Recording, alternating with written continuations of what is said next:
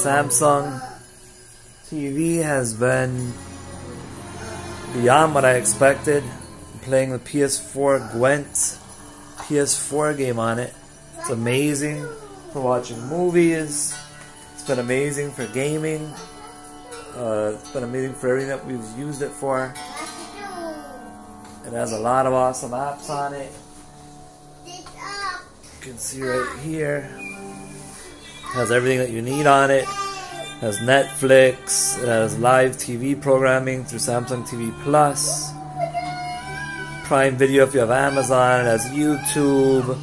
Apps you can download for kids, like this Kokoro one that my son loves. You hear him in the background. It has a great internet browser on it. The browser performs just like a PC browser. It's quick and snappy. It's easy to control. Everything looks good. It's legible. It loads fast. You can read everything easily on it. You have them far away because of the size of the screen and the resolution. Uh, that's pretty much all you could want in a smart TV. You have Steam Link, you can play your PC games straight from your computer onto here without being connected through Wi-Fi or through your network. You can I had it wired, connected my TV wired, so it can connect through there. You have many apps you can add to it. To the App Store. It doesn't have the Google Play App Store. It has a custom one by Samsung, but it has enough stuff in here that you have pretty much anything that you'd need all kinds of stuff you can add.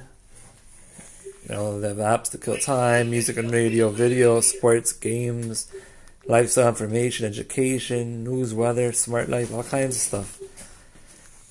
Pretty much all the apps that you would need.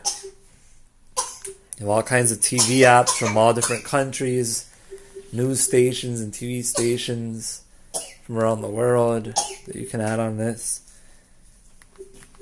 As uh enough to pretty much satisfy anybody. Sports, a couple sports ones.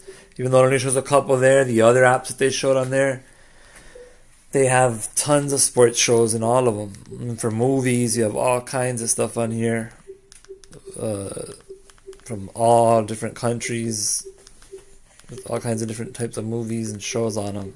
So you have everything you need on here. Look at all this stuff. It just keeps going and going and going. I'm just scrolling fast.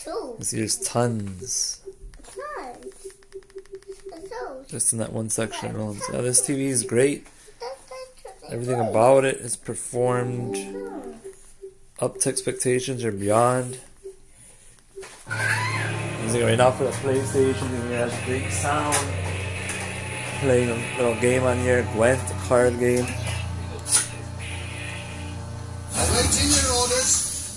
It's amazing playing the games on this giant screen and they look great. They uh they animate beautifully on here. This has FreeSync. So if you were to play your PC games on it, I'm playing PS4 right now.